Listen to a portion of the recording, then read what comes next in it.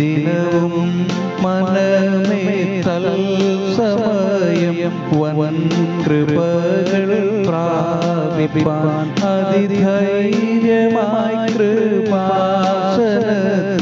അനന്തികത്തിൽ ചെന്നു നീ. എബ്രായർ നാല് പതിനാറ് അതുകൊണ്ട് കരുണ ലഭിക്കുവാനും തക്ക സമയത്ത് സഹായത്തിനുള്ള കൃപ പ്രാപിക്കേണ്ടതിനും നാം ധൈര്യത്തോടെ കൃപാസനത്തിന്റെ അടുത്ത് ചെല്ലുക.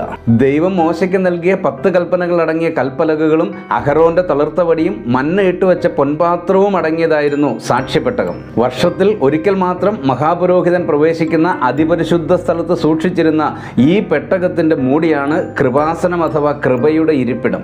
എന്നാൽ ഒരു പുതിയ നിയമഭക്തന് രാത്രിയെന്നോ പകലെന്നോ ഭേദമില്ലാതെ ഇന്ന് അടുത്ത് ചെല്ലാം രണ്ട് കാര്യങ്ങൾക്കായി.